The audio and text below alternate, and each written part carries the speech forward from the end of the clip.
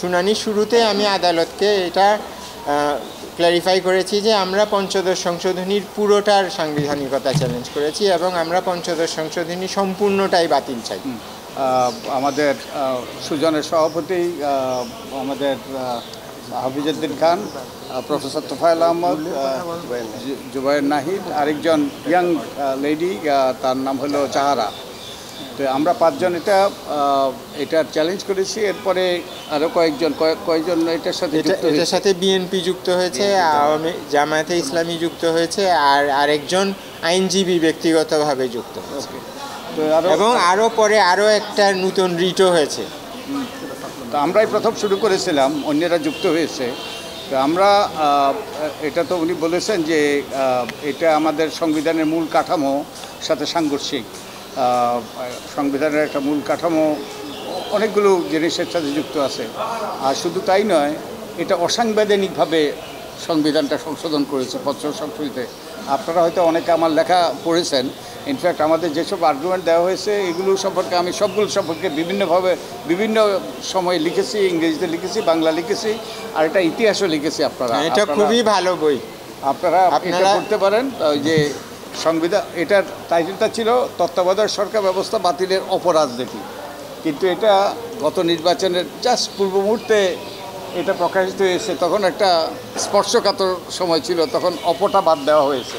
কিন্তু এটার মধ্যে এই যে পঞ্চদশ সংসদে যে ইয়ে করা হয়েছে, এটা যে সংবিধান অন্তত হয়েছে জালিয়াতের মাধ্যমে, মিথ্যাচারের মাধ্যমে, সংবিধান লঙ্ঘন করে, যে এটা অবিশ্বাস্য। তো এই এই ইতিহাসগুলো আমি এখানে লিপিবদ্ধ করার চেষ্টা করেছি এবং এগুলো আদালতে উত্থাপিত হবে।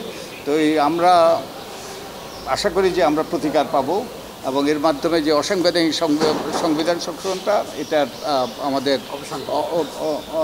এটাকে অবৈধ ঘোষণা করা হবে অসাংবিধানিক ঘোষণা করা হবে। আচ্ছা আর একটা শেষ কথা আমি বলিনি সেটা হলো আমি এটা হয়তো আমার আগেই বলা উচিত ছিল শুনানির শুরুতে আমি আদালতকে এটা ক্ল্যারিফাই করেছি যে আমরা পঞ্চদশ সংশোধনীর পুরোটার সাংবিধানিকতা চ্যালেঞ্জ করেছি এবং আমরা পঞ্চদশ সংশোধনী সম্পূর্ণটাই বাতিল চাই। কোনো নির্দিষ্ট অংশ নয়। না সম্পূর্ণটাই আমরা বাতিল চাই।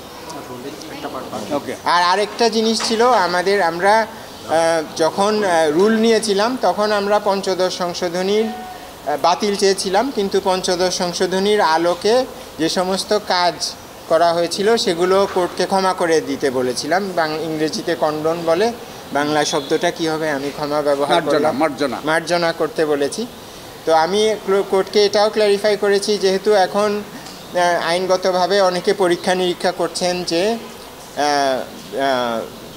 তিনটা সংসদ ওগুলো বৈধভাবে নির্বাচিত হয়েছিল কিনা তার কনসিকুয়েন্স কী হবে। সেজন্য আমি বলেছি যে আমরা এই মার্জনাটা চেয়েছিলাম, কারণ এই যাবৎকালে যতগুলো সংবিধান সংশোধনী মামলা হয়েছে, সবগুলোতেই বা প্রায়গুলোতেই সংবিধানকে অসাং, সংশোধনীকে অসাংবিধানিক ঘোষণা করার প্রার্থনা করা হয়েছিল, কিন্তু অসাংবিধানিক সংশোধনীর অধীনে কৃত কাজকর্মকে মার্জনা চাওয়া হয়েছিল। কাজে আমরা একটা লং স্ট্যান্ডিং প্র্যাকটিস অনুযায়ী আমরা রুলটা নিয়েছিলাম, কিন্তু এখন যেহেতু অন্য অন্য আইনগত দিক পরীক্ষা নিরীক্ষার প্রশ্ন আসছে, আমাদের রুলের দ্বিতীয় অংশ আমরা ব্যাপারে আমরা কোনো সাবমিশন করতে চাই না, রুলের দ্বিতীয় অংশ আমরা প্রেসও করতে চাই না। কাজেই আমরা এই মামলাটা এবং এই শুনানিটা পঞ্চদশ সংশোধনীর বৈধতার বিষয়ে সীমাবদ্ধ রাখতে চাই। এতে করে দু আরও একটা সুবিধা আছে যে কোর্টের পক্ষে শুধুমাত্র সাংবিধানিক বিষয় আলোচনার মাধ্যমে কোর্ট এই মামলাটি নিষ্পত্তি করতে পারবেন। অন্য বিষয়টা নিষ্পত্তি করতে গেলে হয়তো দেখা যাবে অনেকে অবজেকশন দিতে পারেন। হ্যাঁ যারা অন্যভাবে চিন্তা করছেন। কাজেই আমরা মনে করেছি যে আমাদের এটা যেহেতু একটা সাংবিধানিক মামলা, এটাকে সাংবিধানিক ইস্যুতে সীমাবদ্ধ রাখাই ভালো। সেই জন্য আমরা মার্জনার অংশটা বাদ দিয়ে শুনানি করব। আমরা শুধুমাত্র পঞ্চদশ সংশোধনী সাংবিধানিকতা বিষয়ে কোর্টের কাছ থেকে রায় চাইছি।